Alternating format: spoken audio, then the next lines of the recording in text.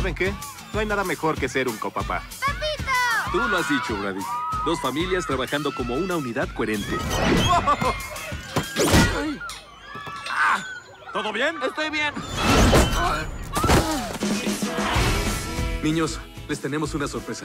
Nada de ir y venir en Navidad. Nada de ir y venir. Oye, fue lo que dije. ¡Sí! Una Navidad juntos como una familia normal. ¡Una Navidad juntos! ¿Hola? ¿Abuelo Kurt?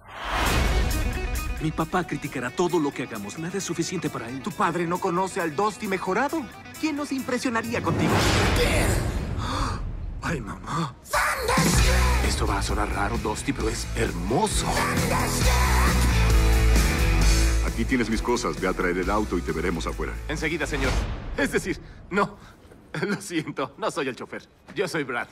El otro papá. ¿Y qué hace aquí? Mi papá también vendrá.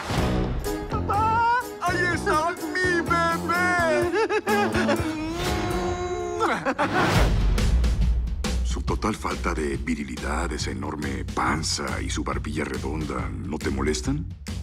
Saben, algo me dice que tal vez ustedes quieran algo de privacidad.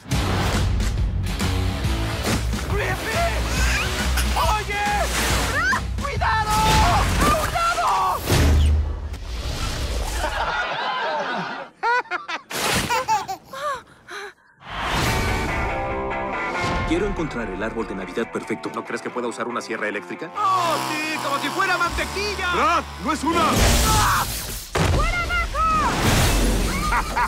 Brad, cortaste una antena telefónica. Creo que está muerto otra vez. Brad, no vayas a la luz.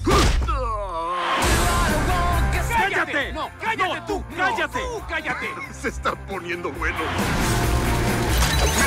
¡Todas las luces están conectadas!